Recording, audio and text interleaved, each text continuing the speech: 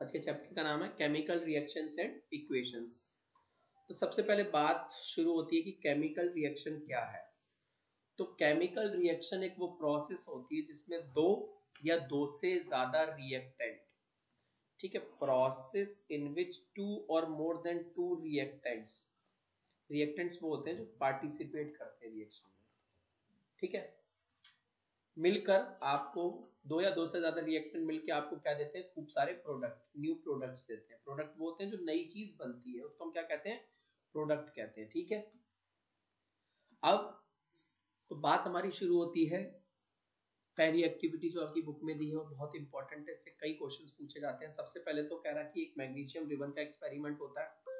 तो magnesium ribbon के experiment में सबसे पहला जो क्वेश्चन पूछा जाता है आपसे कि वो मैग्नीशियम रिबन को जलाने से पहले सैंड पेपर से रब क्यों करते हैं क्लीन क्यों करते हैं?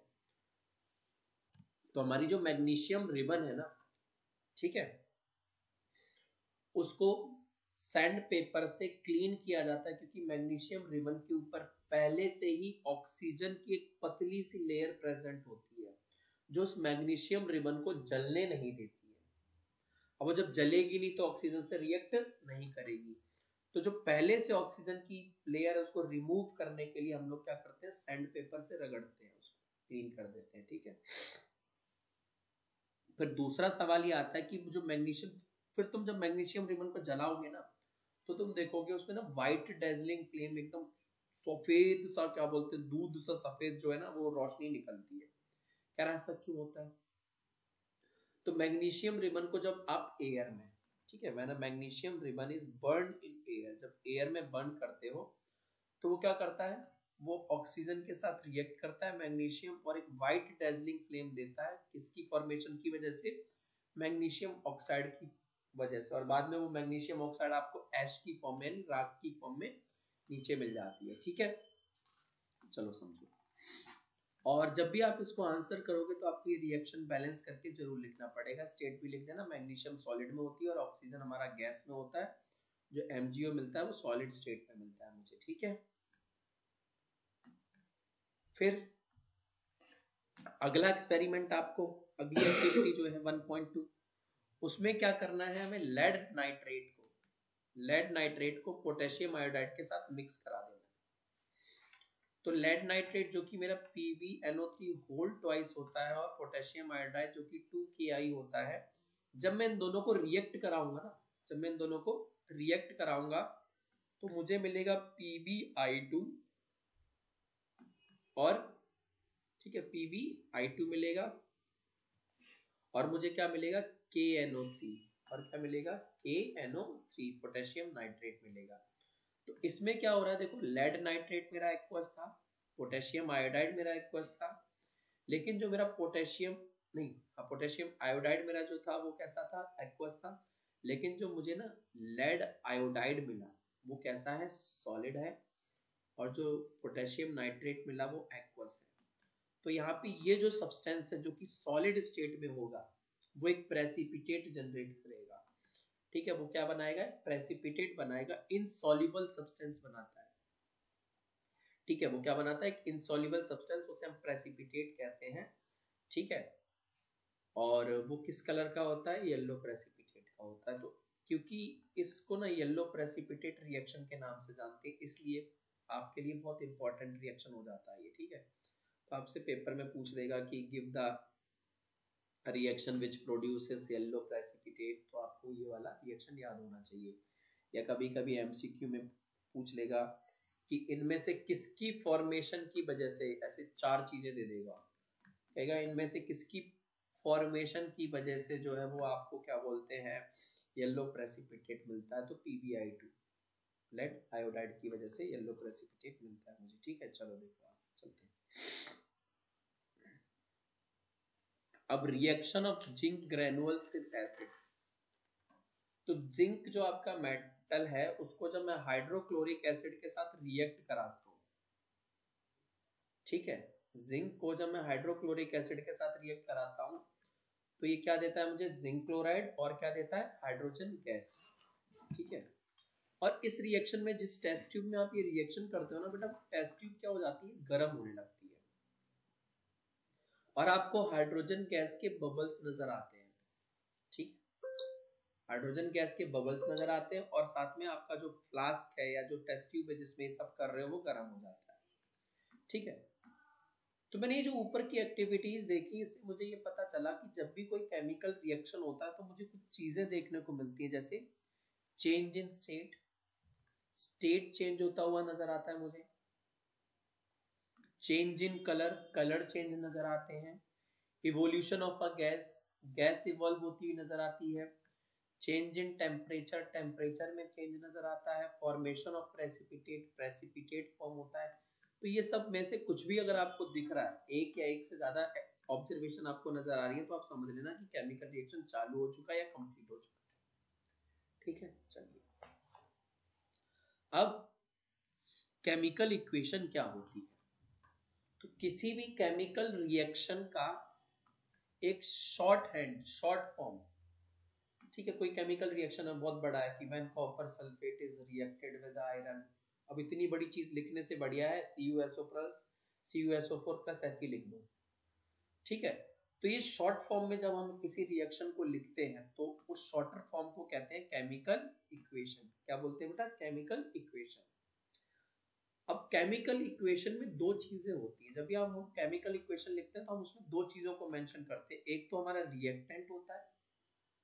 तो रिएक्टेंट क्या होता है? रिएक्टेंट वो सब्सटेंस होता है जो कि केमिकल रिएक्शन में पार्टिसिपेट करता है, जिसमें चेंज आते हैं और उसे एरो के लेफ़्ट साइड में लिखा जाता है। और जो रिएक्शन के बाद नए सब्सटेंस बनते हैं, उसे हम प्रोडक्ट कहते हैं और उसको कहा लिखा जाता है?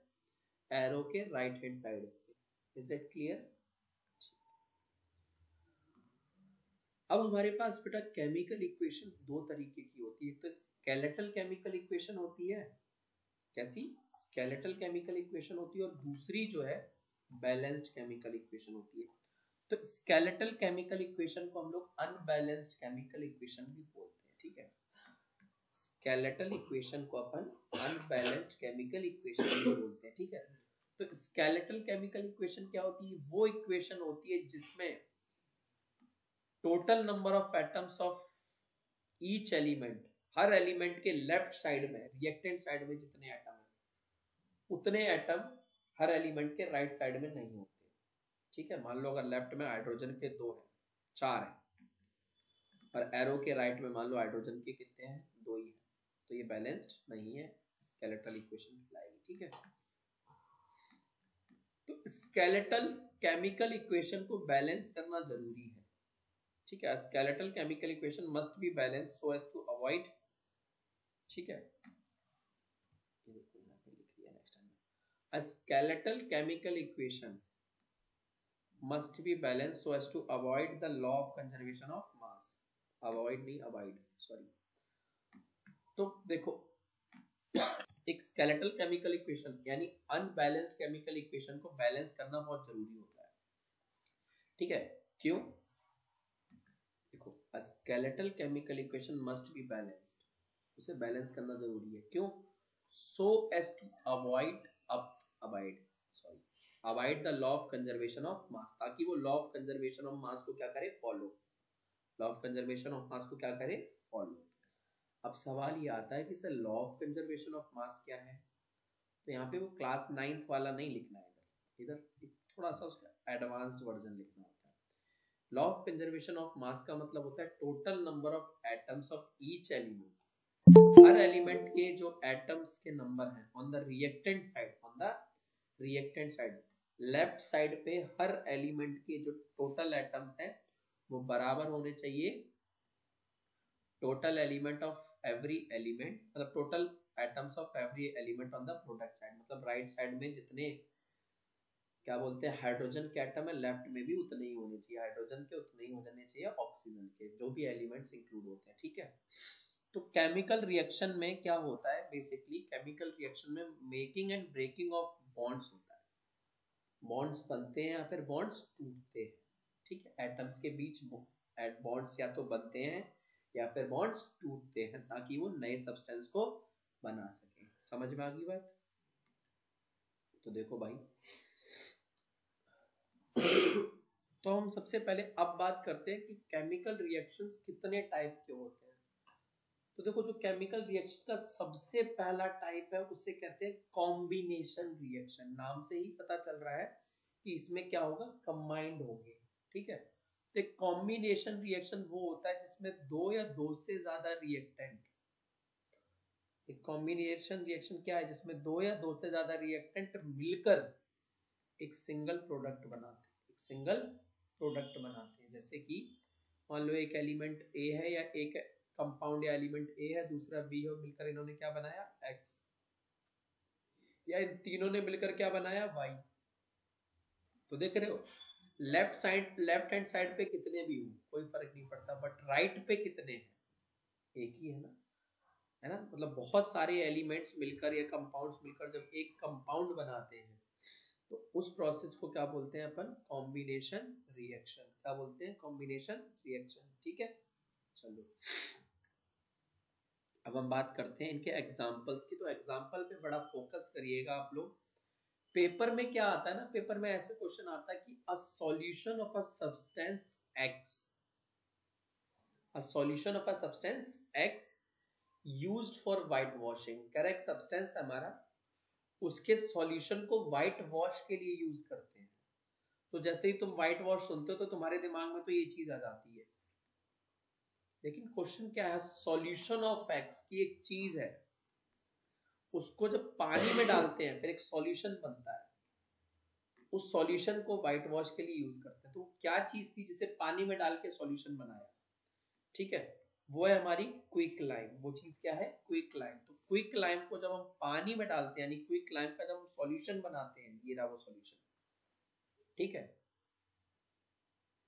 तो वो सॉल्यूशन कैल्शियम हाइड्रोक्साइड कहलाता है, और जब भी आप ऐसा करोगे कि चूना पत्थर ये सी ए जो है ना क्विक लाइम से चूना पत्थर कहते हैं।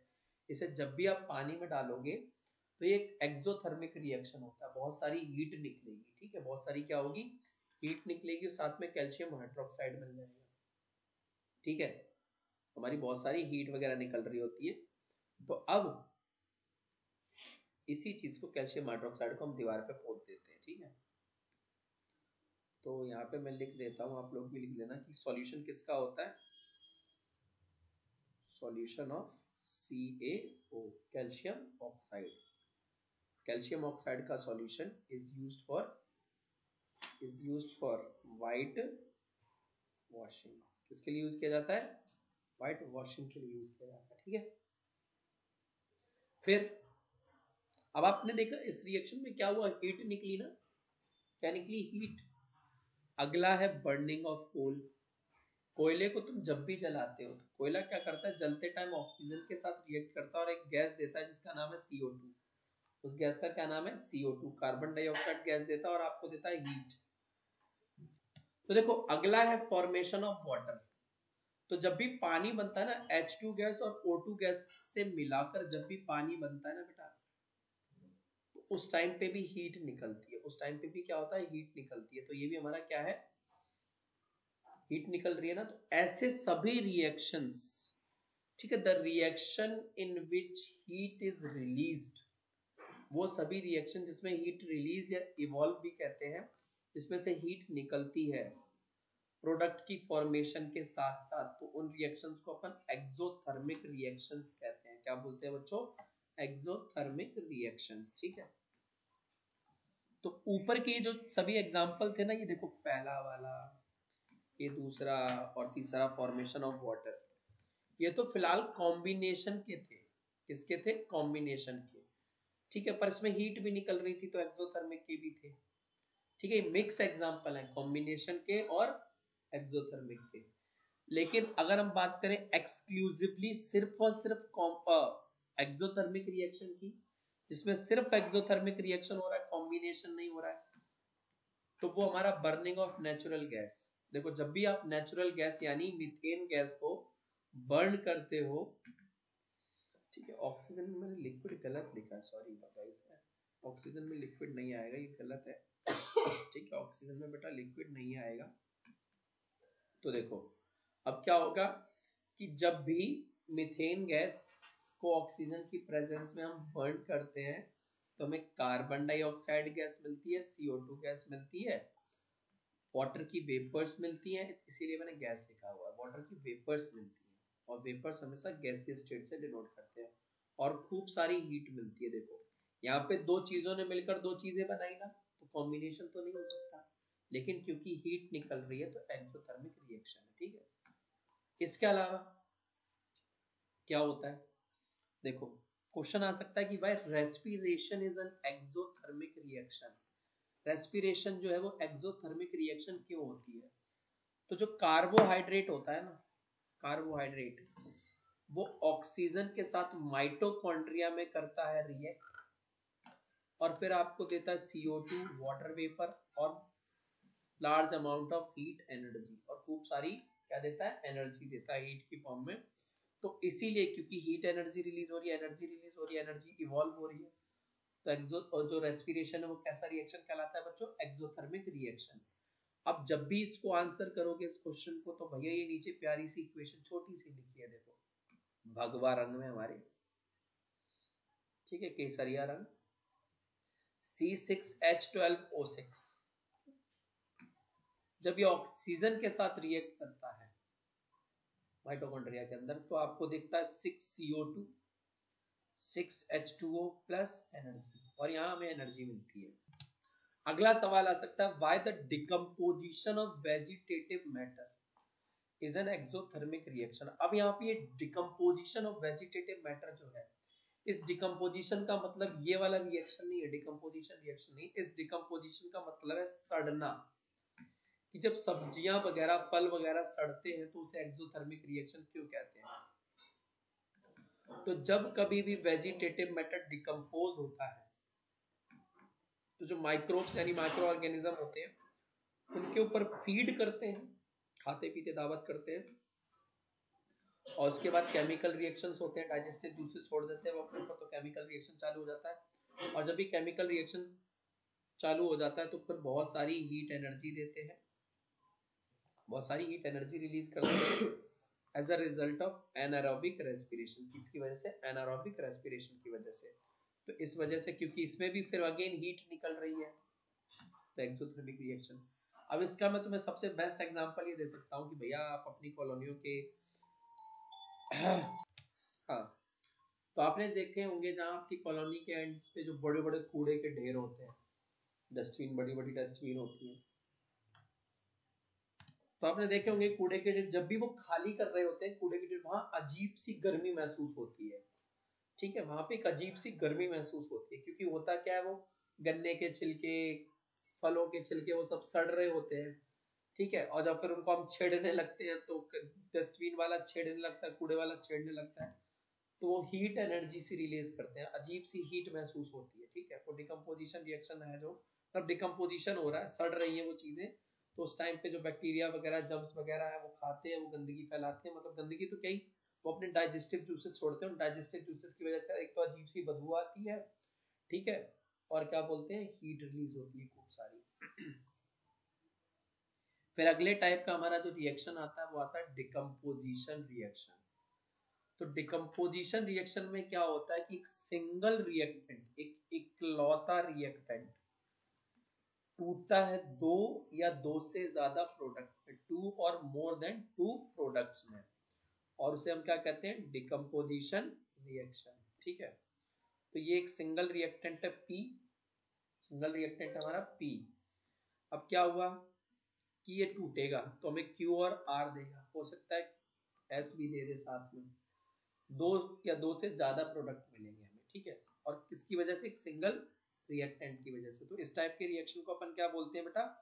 डिकम्पोजिशन रिएक्शन डिकम्पोजिशन का मतलब है टूटना। तो देखो इसके एग्जांपल्स तो क्वेश्चन पूछेगा आपसे कि what happens when iron sulphate is heated तो आयरन सल्फेट जो कि आपको पता होगा, आपका ग्रीन कलर का होता है। उसको जैसे ही हम गर्म करते हैं तो उसका वाटर क्रिस्टलाइजेशन जो है वो लूज होने है। वो अपने वाटर क्रिस्टलाइजेशन को लूज करता है और वो धीरे धीरे कलरलेस होने की कोशिश करता है। कलरलेस होने लग जाता है, ठीक है? और साथ में जब वो अपना वाटर क्रिस्टलाइजेशन लूज कर देता है तो जो प्रोडक्ट्स बनते हैं, वो होते हैं फेरिक ऑक्साइड सबसे पहले क्या बनती है? फेरिक ऑक्साइड बनती है सल्फ़र डाइऑक्साइड बनती है और सल्फ़र ट्राइऑक्साइड बनती है। और जब ये सल्फ़र डाइऑक्साइड और सल्फ़र ट्राइऑक्साइड गैस बनती है तो एक सल्फ़र के जलने से स्मेल आती है। सल्फ़र के जलने से स्मेल आती है, इसे कई लोग पंजेंट स्मेल का नाम भी देते हैं। कैसी? पंजेंट स्मेल ठीक है? एक पंजेंट स्मेल सी प्रोड्यूस होती है। ठीक है तो आपके लिए ये रिएक्शन आपका बहुत इंपॉर्टेंट है। ठीक है? याद रखना आप। फिर ऐसे ही अगला आ सकता है कि भैया क्या होता है जब कैल्शियम कार्बोनेट को आप हीट करते हो। तो जब भी हम कैल्शियम कार्बोनेट को हीट करते हैं तो हमें मिलता है कैल्शियम ऑक्साइड क्या मिलता है बच्चों? कैल्शियम ऑक्साइड और कार्बन डाइऑक्साइड।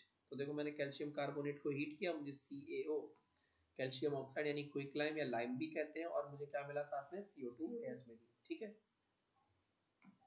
एक चीज़ को जलाया दो मिल गई डिकम्पोजिशन रिएक्शन अभी तक हम देख रहे हैं क्या कर रहे हैं? चाहे ये रिएक्शन हो आयरन सल्फेट वाला और चाहे तो बेटा कैल्शियम ऑक्साइड वाला रिएक्शन हो। इसमें हम क्या कर रहे हैं? हम हीट दे रहे हैं। और हीट दे रहे हैं। एनर्जी दे रहे हैं किस फॉर्म में? हीट की फॉर्म में। ठीक है? तो वो रिएक्शन जिसमें आप क्या बोलते हैं? वो डिकम्पोजिशन रिएक्शन जिसमें आप हीट देते हो। क्या देते हो? एनर्जी को हीट की फॉर्म में सप्लाई करते हो। उसको अपन बोलते हैं थर्मल डिकम्पोजिशन क्या बोलते हैं? थर्मल डिकम्पोजिशन फिर ऐसे एक ये। ये भैया, ये जो है आपका एक फाइव स्टार क्वेश्चन बन जाता है आपके लिए। बहुत इंपॉर्टेंट रिएक्शन है, ठीक? तो इसमें क्या करते हैं कि अपन जो लेड नाइट्रेट है लेड नाइट्रेट एक सॉल्ट होता है, इसे जब भी हम हीट करेंगे तो ये हमें देगा लेड ऑक्साइड साथ में देगा nitrogen gas nitrogen dioxide sorry nitrogen dioxide gas देगा, और देगा ऑक्सीजन गैस तो इस रिएक्शन में जब भी नाइट्रोजन डाइऑक्साइड गैस निकलेगी तो ब्राउन फ्यूम्स रिलीज़ होंगे। भूरे रंग का धुआँ निकलने लग जाएगा ब्राउन कलर का धुआँ निकलने लग जाएगा। जैसे आपने मूवीज़ वगैरह में देखा अलग अलग कलर के धुआँ धुएँ निकलते हैं। तो ऐसे इस रिएक्शन में भी क्या होता है? ब्राउन कलर का धुआँ निकलने लग जाता है ठीक है? तो ये बोर्ड के लिए बहुत इंपॉर्टेंट है भैया ये रिएक्शन ठीक है? अभी आपके हाफ़ ईयरली वगैरह में जितने भी एग्ज़ाम्स होंगे उनमें कई बार आपको देखने को मिल जाएगा। ठीक है, चलो। और जिनके अभी हाफ़ ईयरली हो गए हैं, जो हाफ़ ईयरली के बाद देख रहे हैं, उनको पता भी चल गया होगा कि एक एक दो बार ज़रूर आ चुका होगा आपके पेपर में लास्ट ईयर 2023 मतलब लास्ट ईयर क्या? हाँ लास्ट ईयर 2023 के सेशन में। ये एक बोर्ड के पेपर में दूसरा या तीसरा ही सवाल था। ठीक है? तो वो डिकम्पोजिशन रिएक्शन जिसमें हीट का यूज़ किया जाता है ब्रेक डाउन करने के लिए रिएक्टेंट को उसे हम थर्मल डिकम्पोजिशन रिएक्शन कहते हैं। ऊपर जो तीन एग्जांपल पढ़ाए थे थर्मल डिकम्पोजिशन रिएक्शन के थे। अब अगला है इलेक्ट्रोलिसिस तो इलेक्ट्रोलिसिस वो प्रोसेस होती है जिसमें हम इलेक्ट्रिक इलेक्ट्रिकल एनर्जी का यूज़ करके डिकम्पोजिशन करते हैं, किसी चीज़ को तोड़ते हैं, ठीक है? तो सबसे पहले तो हम जान लें कि कुछ यहाँ टर्म्स यूज़ करूँगा मैं इलेक्ट्रोड्स तो इलेक्ट्रोड्स क्या होती है? इलेक्ट्रोड्स वो रॉड होती हैं जिनसे करंट जो है लिक्विड के अंदर आता है या फिर जाता है? जैसे ये दो रॉड बनाएँगे ना मैंने यहाँ पे, ये दो रॉड ये हमारी दोनों रॉड जो है, वो क्या है? इलेक्ट्रोड है।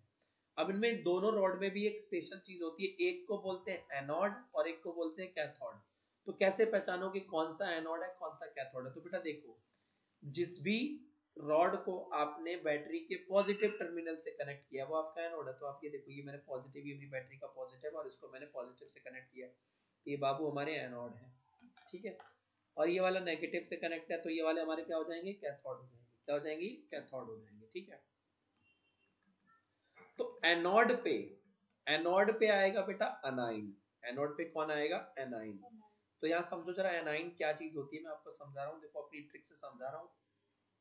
देखो यहाँ, देखो। ये मैंने अभी कौन सा साइन बनाया? नेगेटिव ठीक है, मैंने यहाँ पे क्या साइन बनाया बच्चों? नेगेटिव और अब ये देखो अनाइन। अनाइन का नेचर कैसा होता है? नेगेटिव ऐसे ही क्या तो एनोड पे कौन चिपकता है जाके? कौन अट्रैक्ट होता है एनोड एनोड की तरफ़ एनाइन और अब मैं बनाऊँगा कैथोड ठीक है, क्या बनाऊँगा? कैथोड तो कैथोड हमारा नेगेटिव है।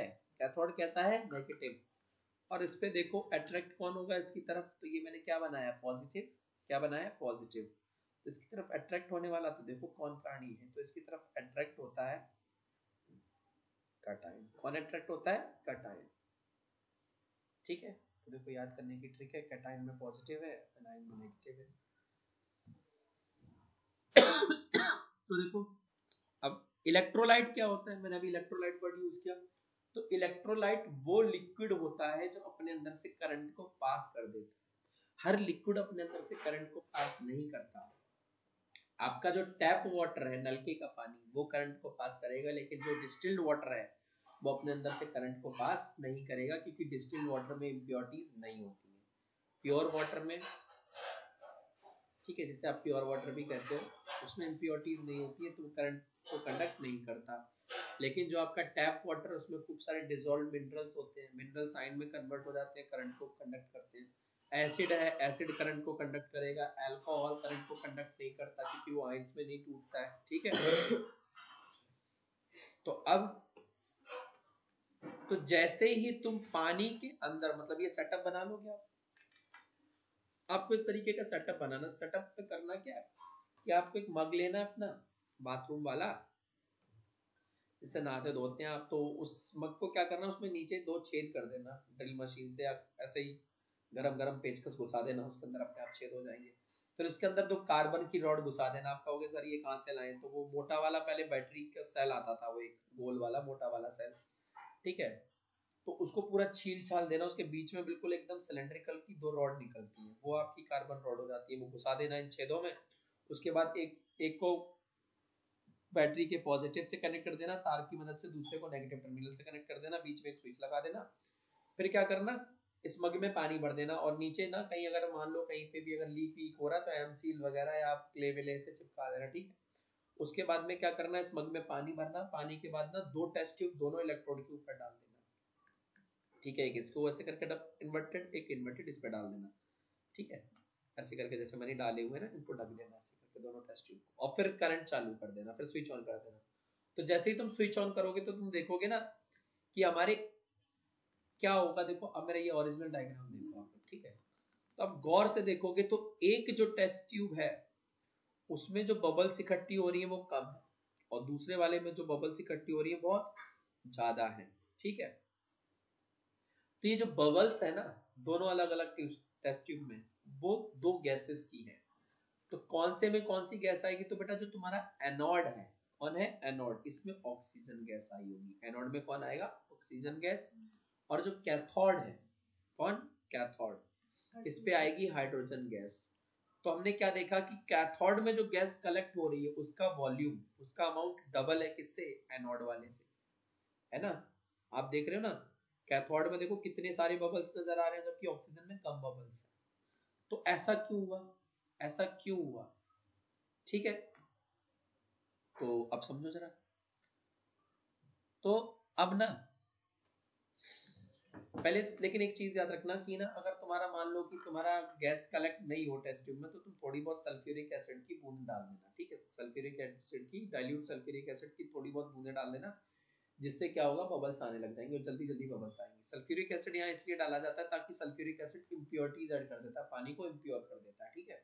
मिलावट हो गई ना पानी में अब तो। तो आप देखोगे एनोड साइड में आपको हाइड ऑक्सीजन की बबल्स नज़र आएँगी। किसकी बबल्स नज़र आएँगी? ऑक्सीजन की। और आप कंफर्म कैसे करोगे कि ऑक्सीजन की बबल्स है? तो आप क्या करोगे? एक बर्निंग कैंडल लेके जाओगे उसके पास एनोड की तरफ़। तो तुम देखोगे कि जो बर्निंग कैंडल जलती हुई मोमबत्ती और तेज जलने लग गई है। और बर्निंग को सपोर्ट कौन करता है? ऑक्सीजन यानी ये गैस जो है वो कौन है? ऑक्सीजन तभी तो और तेज आग हो गई है। फिर कैथोड साइड पे? तो कैथोड साइड पे आपको हाइड्रोजन गैस के बबल्स दिखेंगे। ठीक है? और इसकी प्रेजेंस डिटेक्ट करने के लिए आपको क्या करना पड़ेगा? जल्दी हुई मोमबत्ती ले जाना। पॉप की साउंड के साथ बुझ जाएगी। ऐसे करके आवाज़ आएगी और वो बुझ जाएगी। समझ लेना भाई? ठीक पॉप साउंड समझते ना? हाँ पिट पिटाने वाली आवाज़। तो उस आवाज़ के साथ आपकी मोमबत्ती बुझ जाएगी। समझ लेना हाइड्रोजन गैस है हमारी। ठीक है? तो अब सवाल ये आता है, तुम्हारे दिमाग में चल रहा होगा, सर, आप कह रहे हो कि एक टेस्ट ट्यूब में, यानी कैथोड में जो गैस कलेक्ट हो रही है, उसका वॉल्यूम एनोड से डबल है। क्यों है? और कौन सी गैस है? तो ये तो पता ही चल गया आपको कि वो हाइड्रोजन गैस कैथोड में आ रही है, और वो डबल है। क्यों है? तो आपको पता होगा कि जब भी हम हाइड मतलब हाइड्रोजन और ऑक्सीजन से पानी बनाने की कोशिश करते हैं तो मुझे ना क्या करना पड़ता है कि मेरे को दो एटम लेने पड़ते हैं हाइड्रोजन के, और एक एटम लेना पड़ता है ऑक्सीजन का। तो यहाँ पे हम पहले ही देख रहे हैं कि भैया एक पानी का मॉलिक्यूल बनाने के लिए, ठीक है, एक पानी का सिंगल मॉलिक्यूल बनाने के लिए मुझे क्या करना पड़ता है, ठीक है सिंगल मॉलिक्यूल बनाने के लिए मुझे दो हाइड्रोजन लेने पड़ते हैं और एक ऑक्सीजन लेना पड़ता है। तो ऑब्वियस सी बात है वॉल्यूम भी क्या हो जाएगा? डबल हो जाएगा। किसका? हाइड्रोजन का, क्योंकि हाइड्रोजन डबल चाहिए। दो हाइड्रोजन चाहिए, एक ऑक्सीजन चाहिए तो हाइड्रोजन अपने आप डबल हो जाता है। ठीक है, फिर आप ये रिएक्शन लिख के आएँगे ठीक है, ये रिएक्शन थोड़ा सा है, टूटा टूटा ये देखो, साफ़ सुथरा, प्यारा सा रिएक्शन लिखा है। कि जब मैं टू एच टू ओ में इलेक्ट्रिसिटी दूँगा तो मुझे two H two gas gas लिख देना और ओ टू गैस मिलेगी। तो जो मुझे एच टू मिलेगा, वो लिख देना कैथोड पे और जो मुझे ओ टू मिलेगा, वो बेटा कहाँ मिलेगा? देखो एच टू कहाँ मिल रहा है? कैथोड पे और ओ टू कहाँ मिल रहा है? एनोड पे। उनके नीचे गैस गैस और लिक्विड लिक्विड लगा देना। तो ये रहेगा लिक्विड और ये रहेगा आपका गैस और ये रहेगा आपका गैस समझ में आ गई बात? तो इलेक्ट्रोलिसिस ये हमने जो किया था इस प्रोसेस को हम क्या कहते हैं? इलेक्ट्रोलिसिस क्या होता है इलेक्ट्रोलिसिस तो जब एक रिएक्टेंट को आप दो या दो से ज़्यादा प्रोडक्ट में तोड़ते हो इलेक्ट्रिसिटी की मदद से तो उस तरीके के रिएक्शन को क्या बोलते हैं? इलेक्ट्रोलिसिस अब आती है हमारी बात फोटोलिसिस की। ठीक है, अब हमारी किसकी बात आती है? फोटोलिसिस की। तो फोटोलिसिस में क्या करते हैं बच्चों? अपन देखो। ठीक है? फोटोलिसिस में हम बच्चों करते क्या है कि फोटोलिसिस में हम एक रिएक्टेंट को आ रिएक्टेंट मतलब एक रिएक्टेंट को तोड़ते हैं दो या दो से ज़्यादा प्रोडक्ट की प्रोडक्ट में सनलाइट की मदद से या लाइट की मदद से। इसकी मदद से? लाइट की मदद से। फ़ोटो मतलब फोटोन और फोटोन मतलब लाइट ठीक है? तो जब हम लाइट की मदद से किसी चीज़ को ब्रेक करते हैं डिकम्पोज करते हैं तो प्रोसेस फोटोलिसिस कहलाती है। तो अब क्या होता है ना, सुनो यहाँ पे।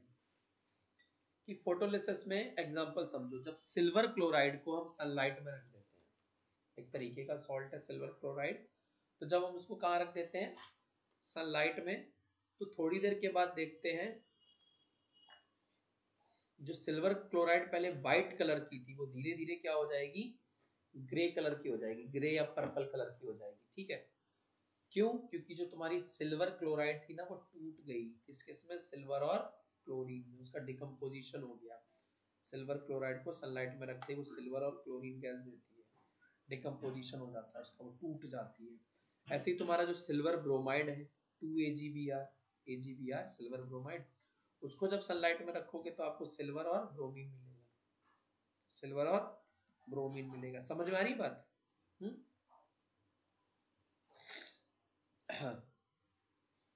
तो the above two reactant reactions ये जो ऊपर के दो रिएक्शन आपको मैंने दिखाई, ये दोनों रिएक्शन ये दोनों जो दिख रहे हैं आपको स्क्रीन पे, ये दोनों रिएक्शंस का पुराने जमाने में ब्लैक एंड व्हाइट फोटोग्राफी में यूज़ किया जाता है ठीक है?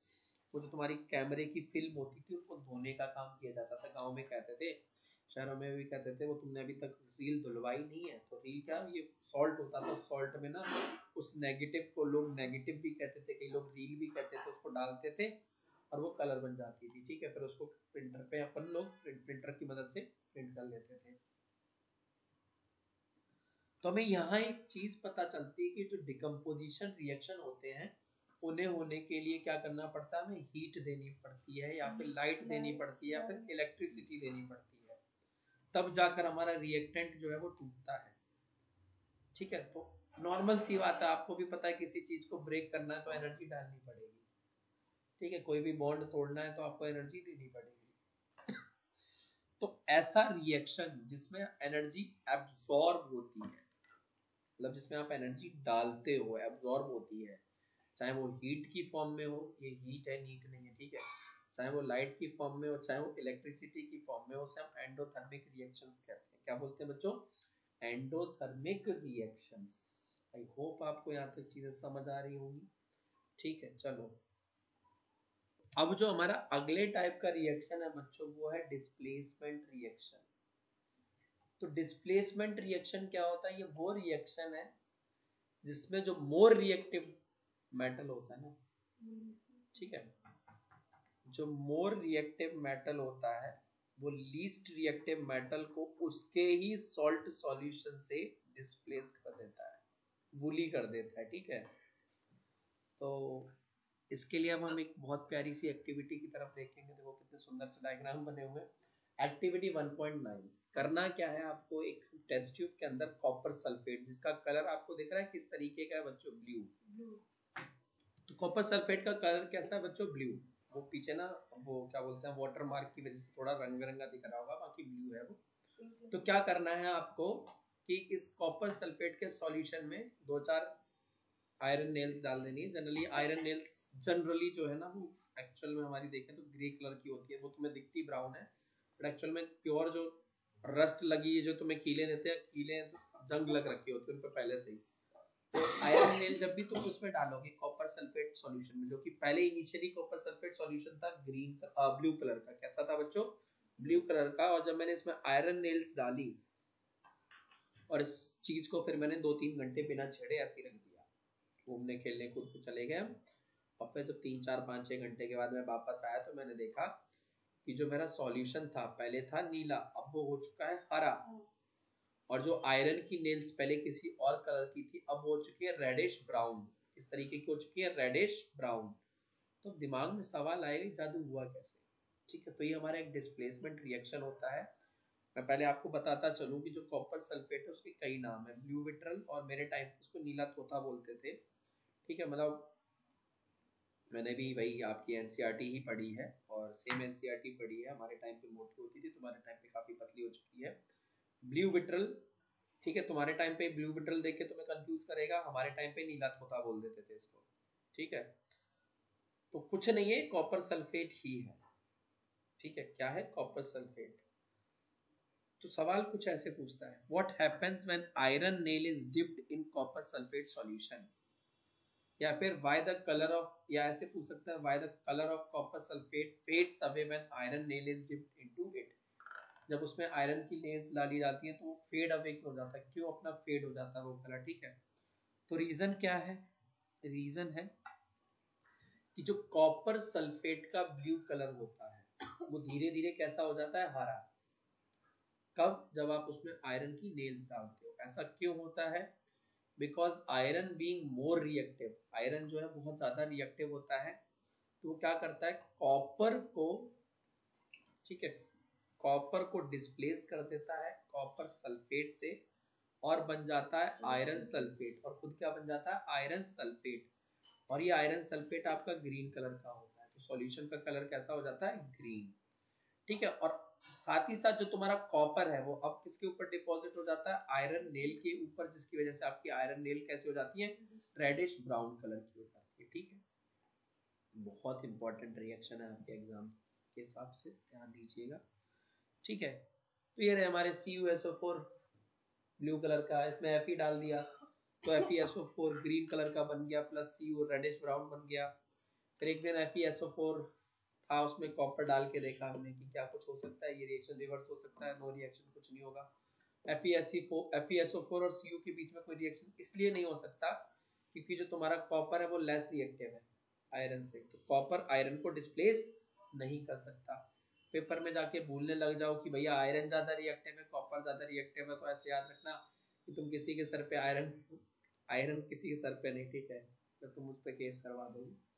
तो मान लो कि हम किसी चीज़ किसी चीज़ पे आयरन की रॉड मारे और किसी चीज़ पे हम कॉपर की रॉड मारे तो ज़्यादा डैमेज कहाँ होगा? आयरन की रॉड पे होगा। ठीक है तो सिर्फ़ याद करने के लिए ही है है ना? अब तुम फ़िज़िकल स्ट्रेंथ की बेसिस पे फ़िज़िकल स्ट्रेंथ की बेसिस पे जो है उनकी रिएक्टिविटी को जज मत करने लग जाना, ठीक है? चलो, हम बढ़ते हैं थोड़ा सा आगे की तरफ़। तो अगर तुम ऐसे फ़िज़िकल स्ट्रेंथ की बेसिस पे जज करोगे तो भैया फिर तो तुम सोडियम तो पनीर जैसा सॉफ्ट होता है चाकू से काट लोगे। पनीर जैसा नहीं मतलब पनीर जैसे चाकू से काटते वैसे सोडियम को भी चाकू से काट लोगे तो फिर तो गलत हो जाएगा ना। और आयरन चाकू से नहीं कटता तो तुम ये कहोगे, सर आयरन ज़्यादा रिएक्टिव है नहीं। ठीक है तो मैंने तो तुम्हें याद करने के लिए दिया था। फिर कह रहा, क्या होगा कि अगर जिंक ग्रेनुअल्स को कॉपर सल्फेट में डाल दें तो? ठीक है, जिंक ग्रेनुअल्स को तो जब मैं जिंक को कॉपर सल्फेट सॉल्यूशन में डालूँगा तो वो बन जाएगा जिंक सल्फेट और कॉपर अलग रेडिश ब्राउन का मेटल दे देगा। ऐसे ही लेड को जब कॉपर क्लोराइड कॉपर क्लोराइड भी ब्लू कलर का होता है, इसमें जब भी लेड को कॉपर क्लोराइड में डालूँगा तो लेड क्लोराइड मिलेगा और साथ में कॉपर रेडिश ब्राउन देकर अलग हो जाएगा। तो मुझे इससे क्या पता चल रहा है? मुझे ये पता चल रहा है कि जिंक, आयरन, लेड, कॉपर से ज़्यादा रिएक्टिव है, इसलिए बार बार कॉपर को उनके सॉल्यूशन से डिस्प्लेस कर रही है। फिर ये रही हमारी रिएक्टिविटी सीरीज़ सुंदर सी, आप इसी ऑर्डर में उसको याद कर लेना, ठीक है? देख लो अच्छे से। दिमाग में बिल्कुल छाप लो। अगला क्या है हमारा? अगले टाइप का जो लास्ट लास्ट तो नहीं है सेकंड लास्ट टाइप है, वो है डबल डिस्प्लेसमेंट तो डबल डिस्प्लेसमेंट रिएक्शन में बच्चों होता क्या है वो समझिए आप? कि डबल डिस्प्लेसमेंट रिएक्शन में आइंस का एक्सचेंज होता है, दो रिएक्टेंट्स के बीच में। आइंस का एक्सचेंज होता है, दो रिएक्शंस के रिएक्टेंट्स के बीच में। आयंस के एक्सचेंज का मतलब भी मैं तुम्हें नीचे समझाऊँगा, ठीक है? उनके आयंस बदल जाते हैं मेटल के आयंस एक्सचेंज हो जाते हैं। ठीक है? और ऐसे रिएक्शंस को जिसमें आयन एक्सचेंज होते हैं, उसे हम डबल डिस्प्लेसमेंट रिएक्शन कहते हैं और डबल डिस्प्लेसमेंट रिएक्शन हमेशा फॉलोड होता है से प्रेसिपिटेशन से। डबल डिस्प्लेसमेंट रिएक्शन में हमेशा प्रेसिपिटेट बनता है। क्या बनता है? प्रेसिपिटेट बनता है हमारा, ठीक है? और जो भी डबल डिस्प्लेसमेंट रिएक्शन में जो प्रोडक्ट सॉलिड स्टेट में रहेगा, उसी का प्रोडक्ट बनता है। जो भी प्रोडक्ट सॉलिड स्टेट में होगा, उसी का क्या बनेगा? प्रेसिपिटेट तो समझो जैसे अब तुम पहचानोगे कैसे कि डबल डिस्प्लेसमेंट रिएक्शन है कि नहीं? तो जनरली क्या तरीका है पहचानने का? कि लेफ़्ट साइड पे दोनों सॉल्यूशन जो है ना मतलब दोनों रिएक्टेंट एक्वस स्टेट में होनी चाहिए। किस स्टेट में होनी चाहिए? एक्वस स्टेट में। तो यहाँ पे जो मेरा सोडियम सल्फेट है ना Na2SO4 एक्वस और अगला है बेरियम क्लोराइड वो भी क्या है? एक्वस दोनों को मिक्स कर दिया, एक टेस्ट ट्यूब में डाल दिया। तो थोड़ी देर के बाद मैं देखूँगा कि सोडियम क्लोराइड तो एक्वस स्टेट में है। लेकिन जो तुम्हें बेरियम सल्फेट मिलेगा, क्या मिलेगा? Barium sulphate. वो सॉलिड स्टेट में नीचे ठहरा हुआ होगा। आपके टेस्ट ट्यूब में नीचे एकदम ज़मीन पे जो बॉटम है, उसमें ठहरा हुआ होगा सॉलिड स्टेट में। और ये व्हाइट कलर का प्रेसिपिटेट देगा। क्या देगा? व्हाइट कलर का प्रेसिपिटेट देख रहे हैं आप, जो सॉलिड चीज़ है, वो क्या देती है? व्हाइट पीपीटी देती है। मतलब जो जो भी सॉलिड चीज़ रहेगी, वो आपको क्या देगी? पीपीटी और इस रिएक्शन में किस कलर का पीपीटी है? व्हाइट पीपीटी व्हाइट प्रेसिपिटेट ठीक है? तो याद रखना। प्रेसिपिटेट क्या होता है? प्रेसिपिटेट एक इनसॉल्युबल चीज़ होती है। ऐसी चीज़ जो घुलती नहीं है सॉल्यूशन में। जो चीज़ सॉल्यूशन में नहीं घुलती है, ठीक है? और ये हमेशा डबल डिस्प्लेसमेंट के टाइम पे ही बनता है हमारा। एक प्रेसिपिटेशन रिएक्शन का एग्जांपल ये तो आपका अभी मैं आपको बिल्कुल स्टार्टिंग में याद होगा। ऐसे पाँच स्टार बनाए थे। ठीक है? ये ये रिएक्शन भाई लेड नाइट्रेट वाला, जब उसको पोटेशियम हाइड्रेट के साथ रिएक्ट करोगे तो येलो प्रेसिपिटेट और क्या देगा? के देगा, ठीक है? समझ में आ रही बात? अब तुम्हारे दिमाग में देखो, हुआ क्या था? देखो, इन रिएक्शंस में हो क्या रहा है देखो, इन रिएक्शंस में हो क्या रहा है, वो समझो, है ना? यहाँ देखो। मैंने कहा कि आयंस का एक्सचेंज होता है तो आप कहोगे, क्या है ये? देखो ये देखो सोडियम के साथ यहाँ सल्फेट आयन है। कौन सा आयन है? सल्फेट आयन और बेरियम के साथ क्या है? क्लोराइड। अब तुम जब उधर जाओगे तो तुम देखोगे जो सोडियम के साथ पहले सल्फेट था। अब वो सोडियम के साथ सल्फेट नहीं होगी क्या है? क्लोराइड। और बेरियम के साथ जो लेफ़्ट साइड में क्लोराइड था, अब बेरियम के साइड के साथ कौन सा आयन हो गया जो नाइट्रोजन के मतलब मतलब सोडियम के साथ था। तो देख रहे हैं आप आयंस बदल गए ना इधर देखो। सरनेम एक्सचेंज हो गए। ये देखो, सोडियम का क्लोराइड हो गया। बेरियम का सल्फेट हो गया। ठीक है सरनेम एक्सचेंज हो गया हमारे। चलो तो अब आगे समझते हैं अपन। तो ये है डबल डिस्प्लेसमेंट आयंस का एक्सचेंज होता है, ये होता क्यों है? तो इसके पीछे जनरल सा ना एक सिंपल सा एक्सप्लेनेशन तो यही है कि मैं तुम्हें यूँ समझाता हूँ, ऐसे समझो। मैं अगर आपसे पूछूँ, बेटा सोडियम की वैलेंसी कितनी है? आप कहोगे, सर प्लस वन और सल्फेट की वैलेंसी कितनी है? तो आप कहोगे, माइनस टू यही है। फिर मैं कहूँ आपसे, बेटा, क्लोरीन की वैलेंसी कितनी है? तो आप कहोगे, सर माइनस वन और मैं आपसे पूछूँ, बेरियम की कितनी है? तो आप कहोगे, सर प्लस टू ठीक है? यहाँ पे जो सोडियम सल्फेट था ना, सोडियम सल्फेट, देखो वो कुछ इसकी प्लस वन वैलेंसी थी और इसकी माइनस टू थी। और यहाँ पे क्या था? इसकी प्लस टू थी, इसकी माइनस इनके बीच का बॉन्ड उतना स्ट्रांग नहीं था। ठीक है? लेकिन क्यों? क्योंकि आइंस का जो मतलब इनके जो आइंस की वैलेंसी है, चार्ज इनके ऊपर, वो सेम नहीं है। लेकिन अगर देखो सेम आइंस के सेम चार्ज के आइंस के बीच में अगर बॉन्ड बनेगा, जैसे देखो प्लस वन और माइनस वन के बीच का बॉन्ड होगा, बहुत स्ट्रांग होगा। तो इसीलिए क्या किया, इस सोडियम ने इसको बेरियम को बोला, बेरियम क्लोराइड को भाई क्लोरीन दे दे अपना। हमारी बॉन्डिंग अच्छी बन जाएगी। क्या किया, सोडियम क्लोरीन लेकर चला गया। फिर भैया बेरियम ने भी देखा, भाई मेरे तो प्लस टू है, मुझे तो माइनस टू को अपना दे देना चाहिए, फालतू में मेरे पास दो है। बेरियम भी क्या करता है, सल्फेट ले जाता है, बेरियम सल्फेट। सेम वैलेंसी बन रही है ना तो इनकी बॉन्डिंग अच्छी बनती है तो इसलिए होता है। ठीक है? तो आपके पेपर में ऐसे करके क्वेश्चन आ जाता है। आया भी होगा कई स्कूल में आया होगा। कहेगा कि मेरे पास तीन चीज़ें हैं एक्स वाई जेड कह रहा, एक जो है एक्स उसकी वैलेंसी है टू एट टू उसका इलेक्ट्रॉनिक कॉन्फ़िगरेशन वाई जो है, उसका इलेक्ट्रॉनिक कॉन्फ़िगरेशन है टू कॉमा एट सेवन और एक जेड है, उसका है टू कॉमा वन तो अब कह रहा, इनमें से किन के बीच इन सब में से, इन तीनों में से किन किन दो के बीच बॉन्ड बनेगा? ठीक है? तो भैया देखो यहाँ पे, ये कह रहा है मेरे पास सात है, एक की कमी, ये कह रहा है मेरे पास एक फालतू है। इन दोनों के बीच बॉन्ड बन जाएगा ना? भाई और जेड के बीच में बॉन्ड बन जाएगा? भाई क्या करेगा? जेड से कहेगा, भाई, तेरे पास फालतू का एक है, मुझे ये ले लेगा। तो जेड वाई के पूरे आठ हो जाएँगे और वाई का आउटर मोस्ट टू से फिल हो जाएगा। और इनका जो बनेगा ना तो इनमें से मैं बोलूँ मेटल कौन सा है? वाई मेटल है कि जेड तो मेटल जेड है। जो इलेक्ट्रॉन देता है ना, वो मेटल होता है। उसका नाम हमेशा पहले आता है। तो वाई पहले आ जाएगा और जेड बाद में। तो ये जो इनका बॉन्ड बनेगा, जो भी एलिमेंट है ये वाई और जेड तो इनका नाम कैसे लिखा जाएगा? सॉरी जेड वाई पहले मेटल लिखेंगे जेड वाई ये इनका कंपाउंड बन जाएगा, ठीक है? जेड वाई और ये कई स्कूल के मैंने हाफ़ ईयरली के पेपर में देखा है, ठीक है? स्कूल के नाम जो है, मैं डिस्कस नहीं कर सकता। चलो। तो देखो ऑक्सीडेशन रिएक्शन तो ऑक्सीडेशन रिएक्शन में क्या होता है? ऑक्सीजन ऐड होता है या फिर हाइड्रोजन रिमूव होता है, या फिर इलेक्ट्रॉन्स फ्यूज होते हैं इस रिएक्शन में। तो एक ऐसा रिएक्शन जिसमें या तो ऑक्सीजन ऐड हो जाए किसी चीज़ में, या फिर उसमें से हाइड्रोजन रिमूव हो जाए, या फिर उसमें इलेक्ट्रॉन्स लूज हो जाए तो उस रिएक्शन को क्या कहते हैं? ऑक्सीडेशन रिएक्शन जैसे देखो, यहाँ पे क्या हुआ? ये भी बड़ा फ़ेमस रिएक्शन है, बड़ा फ़ेमस ठीक है? ये जो कॉपर मेटल है आपका, इसे बोलता है कि ना रेडिश ब्राउन मेटल कैसा होता है ये? रेडिश ब्राउन मेटल होता है. इसको जब ऑक्सीजन के साथ, इस कॉपर को जब ऑक्सीजन के साथ हम हीट करते हैं ना तो हमें मिलता है बेटा कॉपर ऑक्साइड और ये जो कॉपर ऑक्साइड मिलती है, वो ब्लैक कलर की हो जाती है। तो इसका पता है क्वेश्चन कैसे आता है? कहता कि a reddish brown metal X when heated with a gas, Y, gives a black colored substance, Z. ठीक है? Z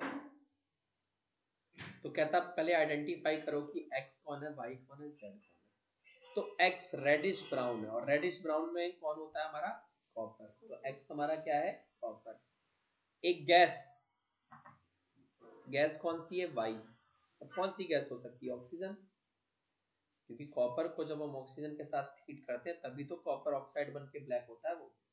ठीक है तो वाई क्या हो जाएगी हमारी? ऑक्सीजन और जेड जो कि ब्लैक कलर का सब्सटेंस है तो कौन बचता है?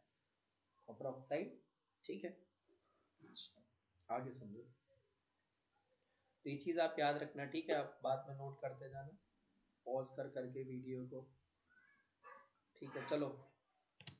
अब क्या किया जब आपने ये बर्तन कॉपर का बर्तन ऑक्सीजन के साथ जलाया तो कैसा पड़ गया? काला। है? मैगी पकाई होगी तुमने उसके अंदर? अब शाम को तुम्हारी मम्मी आने वाली है पड़ेगी तुम्हें मार। तो तुम्हें उस बर्तन को जो तुमने काला किया, उसे दोबारा से क्या करना है? रेडिश ब्राउन रेडिश ब्राउन था ना? तो अब तुम क्या कर सकते हो? ठीक है? तो उस के लिए आपको क्या करना पड़ेगा? ये जो काला बर्तन आपका कॉपर ऑक्साइड है, उसको हाइड्रोजन के साथ आप क्या करना? हीट कर देना। हाइड्रोजन के साथ आप क्या कर देना? हीट तो आपको आपका लाल बर्तन तो वापस मिल जाएगा और फिर H2O अलग मिल जाएगा लिक्विड फॉर्म में, ठीक है? तो यहाँ क्या हो रहा है? यहाँ देखो। समझो गौर से। यहाँ पे ये कॉपर जो है ना कॉपर ऑक्साइड उसका ऑक्सीजन छिन रहा है। कॉपर ऑक्साइड का क्या हो रहा है? ऑक्सीजन छिन रहा है ना। देख रहे हो, यहाँ पे लेफ़्ट साइड में कॉपर ऑक्साइड था और राइट साइड में कॉपर नहीं बचा। यानी ऑक्सीजन क्या हो गया? रिमूव ऑक्सीजन रिमूव हो गया? तो ऐसा रिएक्शन जिसमें ऑक्सीजन रिमूव होता है, ठीक है? एक ऐसा रिएक्शन जिसमें ऑक्सीजन रिमूव होता है, या फिर हाइड्रोजन ऐड होता है या फिर इलेक्ट्रॉन्स गेन होते हैं, उसको हम क्या बोलते हैं? रिडक्शन रिएक्शन तो ये किसका एग्जांपल है बच्चों? रिडक्शन रिएक्शन का। समझ में आ रही बात? ये किसका एग्जांपल है? रिडक्शन रिएक्शन का। देखो ना कॉपर ऑक्साइड के पास ऑक्सीजन था, लेकिन अब इस तरफ़ नहीं है। तो कॉपर से कॉपर ऑक्साइड से क्या छिन गया? ऑक्सीजन तो ये हो गया इसका रिडक्शन क्या हो गया? रिडक्शन हो गया। ठीक है? तो उसी क्वेश्चन को वो आगे कैसे बढ़ा सकता था? पीछे का आपको याद होगा कि ब्लैक कलर का सब्सटेंस जेड मिला फिर कहेगा when this Z is heated with W इस Z को हम W के साथ heated with a when Z, this Z is heated with a gas with a gas W gas W के साथ heat करूँगा we get back we get back reddish brown metal reddish brown metal. तब कहेगा, भैया, उस W को भी पहचान लो एक्स वाई जेड तो पीछे पहचान ही गए थे। W क्या बचता है? कौन सी गैस है? Hydrogen gas. तो जो तुम्हारा काला बर्तन है, इसको Z नाम दिया था ना, उसको तुम W गैस यानी हाइड्रोजन गैस के साथ हीट करोगे तो तुम्हें कॉपर अलग रेडिश ब्राउन मेटल और H2O अलग मिल जाएगा, ठीक है? फिर कहेगा, अब इनका रिएक्शन लिखो। तो रिएक्शन तो अब तुम दोनों रिएक्शन लिखाना ठीक है? समझ में आ गई बात? कहेगा कि पहले तो उस x का y के साथ रिएक्शन करके z बनाओ, फिर z का रिएक्शन w के साथ देकर देना तो आप कर लोगे, ठीक है? अब बात आती है हमारे रिडॉक्स रिएक्शन की। तो रिडॉक्स रिएक्शन में ऑक्सीडेशन और रिडक्शन साथ साथ होता है। ठीक है तो एक ऐसा रिएक्शन जिसमें एक सब्सटेंस तो ऑक्सीडाइज्ड होता है। और जो अदर है, दूसरा सब्सटेंस उसी टाइम पे रिड्यूस होता है। उसको हम क्या कहते हैं? रिडॉक्स रिएक्शन तो ऊपर वाले एग्जांपल में दोनों चीज़ें हो रही थी, ठीक है? मैं एक साथ तुम्हें समझाना नहीं चाहता था तो अब देखो। यहाँ क्या हो रहा है बेटा? यहाँ पे जो कॉपर ऑक्साइड है ना, उससे ऑक्सीजन छिन गया। यानी कॉपर ऑक्साइड का तो क्या हो गया? रिडक्शन और जो हाइड्रोजन था अभी इसके पास, देखो रिएक्टेंट साइड में ऑक्सीजन नहीं था। और प्रोडक्ट साइड में उसको क्या मिल गया? ऑक्सीजन तो इसका क्या हो गया? ऑक्सीडेशन जिसमें ऑक्सीजन मिल जाए ऑक्सीडेशन और जिससे ऑक्सीजन छिल जाए रिडक्शन तो अब याद रखना रिएक्टेंट साइड पे, मेरी बात बहुत गौर से सुनना। रिएक्टेंट साइड पे वो कंपाउंड रिएक्टेंट साइड पे वो रिएक्टेंट जिसके पास ऑक्सीजन है, उसे बोलते हैं ऑक्सीडाइजिंग एजेंट तो ये रही मेरी रिएक्टेंट साइड ये मेरी रिएक्टेंट साइड अब इस रिएक्टेंट साइड में आप देख के बताओ कि कौन से कम कौन से रिएक्टेंट के पास ऑक्सीजन है? तो आप कहोगे, सर कॉपर ऑक्साइड तो कॉपर ऑक्साइड मेरा ऑक्सीडाइजिंग एजेंट कहलाएगा। क्या कहलाएगा? ऑक्सीडाइजिंग एजेंट ठीक है? और फिर थोड़ी देर के बाद इस कॉपर ऑक्साइड से ऑक्सीजन छिन गया। छिन गया ना? तो यही ऑक्सीडाइजिंग एजेंट आगे चल के हमारा रिड्यूस्ड सब्सटेंस भी कहलाता है, क्योंकि इसका रिडक्शन हो गया। इसका क्या हो गया? रिडक्शन हो गया। ठीक है? तो ऑक्सीडाइजिंग वो एजेंट होता है ऑक्सीडाइजिंग एजेंट वो एजेंट होता है जो अपना ऑक्सीजन देता है। तो अपना ऑक्सीजन किसने दिया था? कॉपर ने दिया था? तो ऑक्सीडाइजिंग एजेंट और बेचारे ने जैसे ही अपना ऑक्सीजन दे गया तो उसका क्या हो गया? रिडक्शन तो रिड्यूस्ड सब्सटेंस ये दोनों भाई एक ही है। जो ऑक्सीडाइजिंग एजेंट होता है, वही हमारा रिड्यूस्ड सब्सटेंस होता है। कैसे पहचान हो गया ऑक्सीडाइज ऑक्सीडाइज्ड ऑक्सीडाइजिंग एजेंट आँख बंद करना लेफ़्ट साइड देखना और देखना लेफ़्ट साइड में ऑक्सीजन किसके पास है? कॉपर ऑक्साइड के पास ऑक्सीडाइजिंग एजेंट और यही आपका रिड्यूस्ड सब्सटेंस हो जाएगा। ठीक है? फिर अब हमारा रिड्यूसिंग एजेंट कौन है? तो रिड्यूसिंग एजेंट वो है जिसको ना लेफ़्ट साइड में देखो जिसके पास ऑक्सीजन नहीं था। तो अब ऑक्सीजन किसके पास नहीं था? हाइड्रोजन आगे देखो ना इसी हाइड्रोजन को फिर यहाँ क्या मिल गया? ऑक्सीजन तो किसने किसने ऑक्सीजन को रिड्यूस किया हाइड्रोजन ने? तो जो ऑक्सीजन को रिड्यूस करता है, उसे रिड्यूसिंग एजेंट बोलते हैं हाइड्रोजन और देख रहे हो, तुमने इसने जैसे रिड्यूस किया, यानी छीना। तो इसका ऑक्सीडेशन भी तो हुआ, यानी ऑक्सीडाइज्ड सब्सटेंस होता है क्या है? ऑक्सीडाइज्ड सब्सटेंस ठीक है? तो कुल मिलाकर जो ऑक्सीडाइजिंग एजेंट है, वही रिड्यूस्ड सब्सटेंस होता है। और जो रिड्यूसिंग एजेंट है वही ऑक्सीडाइज सब्सटेंस होता है। और ये दोनों चीज़ें आपको कहाँ मिलेंगी? लेफ़्ट साइड में। ठीक है? पहचानने के लिए सिर्फ़ ऑक्सीडाइजिंग एजेंट पकड़ना है, जिसके पास लेफ़्ट साइड में ऑक्सीजन है, यहाँ कॉपर ऑक्साइड इसमें देखो। अब देखो जिंक ऑक्साइड लेफ़्ट साइड में हमारा क्या है बच्चों? जिंक ऑक्साइड इसके पास ऑक्सीजन है ना? ऑक्सीडाइजिंग एजेंट है ना? और कार्बन इसके पास ऑक्सीजन नहीं है? रिड्यूसिंग एजेंट क्या है? रिड्यूसिंग एजेंट ठीक है? समझ में आ गई बात? तो आगे देखो। यहाँ देखो ना जिंक ऑक्साइड इधर जाके खाली जिंक हो गया तो रिडक्शन हो गया। ठीक है? कार्बन इधर जाके ऑक्सीजन मिल गया, इसका ऑक्सीडेशन हो गया। तो ऑक्सीडाइजिंग एजेंट जिसके पास ऑक्सीजन है जिंक ऑक्साइड ठीक है? रिड्यूसिंग एजेंट जिसके पास, जिसने ऑक्सीजन छीना कार्बन ने छीना तो रिड्यूसिंग एजेंट जिससे ऑक्सीजन छिन गया जिंक ऑक्साइड रिड्यूस सब्सटेंस जिसको ऑक्सीजन मिल गया कार्बन ऑक्सीडाइज सब्सटेंस ठीक है, चलो, अगला समझते हैं अपन। फिर एक ये रिएक्शन है। देख लो आप लोग। इधर मैग्नीशियम मैग्नीज ऑक्साइड के पास ऑक्सीजन है तो ऑक्सीडाइजिंग एजेंट उधर जाके नहीं रहा। ठीक है तो रिड्यूस सब्सटेंस ठीक है रिड्यूस्ड सब्सटेंस बन गया। फिर इधर देखो यहाँ इसके पास एस के पास ऑक्सीजन नहीं है और इधर मिल गया? तो क्या हो गया? रिड्यूसिंग एजेंट इसने छीना ना? ये छीना? रिड्यूसिंग एजेंट और क्योंकि अब एस को क्या मिल गया है? ऑक्सीजन ऑक्सीडाइज सब्सटेंस ठीक है? बहुत इजी है।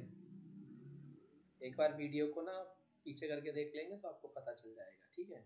एम का मतलब एम का मतलब होता है मैग्नीज ऑक्साइड भाई, एक reddish brown substance X heat करने पे ब्लैक बन जाता है। एक्स पहचानो रिएक्शन बताओ। एक्स कॉपर है और रिएक्शन ये रहा। आपको भी जस्ट पढ़ाया था। मैंने बहुत डिटेलली पढ़ा दिया, ठीक है?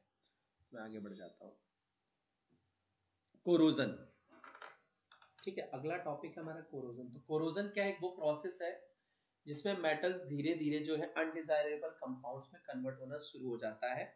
क्यों? क्योंकि उनका रिएक्शन होने लगता है ऑक्सीजन वाटर या एसिड गैसेस वगैरह के साथ। यानी जब मेटल की surface oxygen water acid gases वगैरह के कांटेक्ट में आती है तो उनकी सरफेस खराब होने लगती है और इस रिएक्शन को अपन क्या कहते हैं? कोरोजन ठीक है, इस प्रोसेस को क्या कहते हैं? कोरोजन तो आयरन के कोरोजन को बोलते हैं रस्टिंग ऑफ़ आयरन तो आयरन जब भी ऑक्सीजन और मॉइस्चर के कांटेक्ट में आता है तो उसके ऊपर एक reddish brown flaky substance reddish brown flaky substance deposit हो जाता है, जिसे हम क्या कहते हैं? रस्ट ठीक है, क्या बोलते हैं बच्चों? रस्ट तो रिएक्शन याद रखना भाई, ठीक है? You must remember the reaction तो ये रिएक्शन रट्टा मार के जाना। Four F E three O two plus N S two क्या देगा F E two three dot N S two rust ठीक है? कोरोजन ऑफ़ कॉपर तो तुम्हारा कॉपर है, जब पानी के साथ सी ओ टू के साथ और ओ टू के साथ, इन सब के साथ एक साथ कॉन्टेक्ट में आ जाता है। तब तुम्हें ये बना के देता है कॉपर कार्बोनेट कॉपर हाइड्रोक्साइड ठीक है? कॉम्प्लेक्स सॉल्ट होता है। ये ग्रीन कलर की कोटिंग के फॉर्म में आपको कॉपर पे देखने को मिलती है। नया नया कॉपर का बर्तन लास्ट को थोड़े दिनों के बाद वारा पड़ने लग जाता है। ठीक है? इस वजह से इस रिएक्शन की वजह से ठीक है? तो कॉपर के ऊपर रस्टिंग की कोरोजन की वजह से ग्रीन कलर की लेयर चढ़ती है। फिर टार्निशिंग ऑफ़ सिल्वर इसे क्या कहते हैं? टार्निशिंग ऑफ़ जब सिल्वर के ऊपर ब्लैक कलर की कोटिंग जमती है तो उसको हम बोलते हैं टार्निशिंग ऑफ़ सिल्वर तो सिल्वर जो कि तुम्हारा टू ए जी है, वो जब हाइड्रोजन सल्फाइड गैस के साथ रिएक्ट करता है, किसके साथ? हाइड्रोजन सल्फाइड के साथ. तो वो आपको देता है A G two S silver sulphide और एच टू तो ये जो सिल्वर सल्फाइड है, वो क्या करती है? आपकी सिल्वर को ब्लैक कर देती है, ठीक है? सिल्वर के ऊपर जब सल्फाइड की लेयर जम जाती है तो सिल्वर कैसी पड़ जाती है? काली। ठीक है?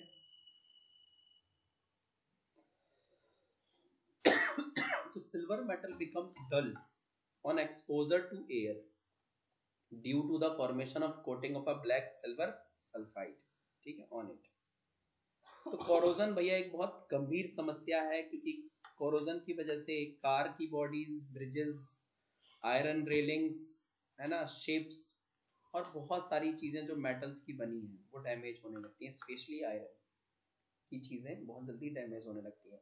और हर साल लाखों करोड़ों पैसा जो है खर्च होता है डैमेज आयरन को रिप्लेस करने के लिए। तो रस्टिंग ऑफ़ आयरन से बचने के लिए क्या करना चाहिए? Painting the metal surface oiling greasing galvanisation galvanisation में क्या करते हैं हम? आयरन के ऊपर जिंक की लेयर चढ़ा देते हैं एलॉइंग जिसमें हम दो चार मेटल्स को आपस में मिक्स कर देते हैं। स्टेनलेस स्टील ब्रास इलेक्ट्रोप्लेटिंग भी कर सकते हैं, ठीक है? इनके बारे में डिटेल में हम लोग मेटल नॉन मेटल में पढ़ेंगे, ठीक है? आगे बढ़ते हैं रेंसिडिटी तो रेंसिडिटी क्या है? तो रेंसिडिटी जब वो खाने की चीज़ें जिसमें फैट हो या फिर ऑयल हो जब वो ऑक्सीडाइज्ड हो जाते हैं मतलब वो ऑक्सीजन के साथ रिएक्ट कर जाते हैं तो उनका टेस्ट और उनकी स्मेल यानी खुशबू बदल जाती है। और इस प्रोसेस को अपन रेंसिडिटी कहते हैं, उस सब्सटेंस को रेंसिड कहते हैं। ठीक है, आपने देखा होगा, बिस्किट वगैरह निकाल कर रखते थोड़ी देर के बाद वो सील जाते हैं, नमी पकड़ लेते हैं चिप्स के साथ भी नमी पकड़ लेते हैं टेस्ट और स्मेल चेंज हो जाती है है ना? इस प्रोसेस को रेंसिडिटी कहते हैं। तो रेंसिडिटी से बच कैसे सकते हैं आप? तो आप क्या कर सकते हैं कि भाई अपनी खाने वाली चीज़ों में एंटीऑक्सीडेंट्स ऐड कर दो, जैसे कि नाइट्रोजन गैस ऐड कर दो। या फिर उन खाने वाली चीज़ों को एयर टाइट कंटेनर्स में पैक कर दो, ताकि ऑक्सीडेशन की प्रोसेस बिल्कुल स्लो पड़ जाए।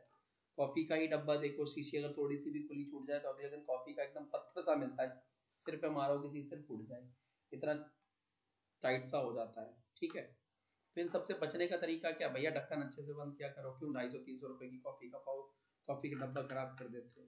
और नई देखभाल की जाती है तो दो दो रुपए के पाउच आते हैं पूरा। पैक ही खरीद लाओ, दुकान लगा लो उनकी ऐसे दीवार के ऊपर। ठीक है? समझ में आ रही बात? वो ज़्यादा अच्छा एक फाड़ो अपना। डालो कप में, पी लो। खत्म कहानी किसी दिन डब्बा खोला, छोड़ दिया तो नुकसान कर दोगे। चलो, क्वेश्चन। तो कह रहा है कि जो चिप्स मैन्युफैक्चरर हैं ठीक है जो आपके चिप्स मैन्युफैक्चरर हैं वो जनरली क्या करते हैं कि चिप्स के पैकेट में ना गैस भर देते हैं। कौन सी गैस? नाइट्रोजन। क्यों भरते हैं? है ना? तो तुमने एक कंपनी है उसके ऊपर खूब सारा मीम पड़े होंगे जोक्स पड़े होंगे कि वो फलानी कंपनी जो है अपने चिप्स के पैक चिप्स के पैकेट में चिप्स से ज़्यादा गैस भर के देती है। कंपनी का नाम नहीं दूँगा नहीं तो चैनल डाउन बर्बाद हो गया मेरा। तो नाइट्रोजन गैस। जो कि इनर्ट होती है नेचर में मतलब less reactive very very very less reactive ठीक है? रिएक्टिव नहीं होती। कौन? नाइट्रोजन गैस तो नाइट्रोजन गैस क्या करती है? क्योंकि खुद रिएक्टिव नहीं होती है तो जो फ़ूड आइटम उसके अंदर रखा हुआ है आपने चिप्स के पैकेट के अंदर चिप्स कुरकुरे के अंदर के पैकेट के अंदर कुरकुरे तो उनमें ऑक्सीजन को घुसने नहीं देती। यानी ऑक्सीजन का उनके साथ रिएक्शन नहीं होने देती। और वो रेंसिडिटी से बचा लेती है आपके फ़ूड आइटम को। ठीक है? वो आपके फ़ूड आइटम्स को क्या करती है? रेंसिडिटी से बचा लेती है। ठीक है? फिर हमारा एक टॉपिक बच रहा है बैलेंसिंग अ केमिकल इक्वेशन इसको जो है बेटा हम नेक्स्ट क्लास में कंसिडर करेंगे। Till then bye bye take care good night चलो।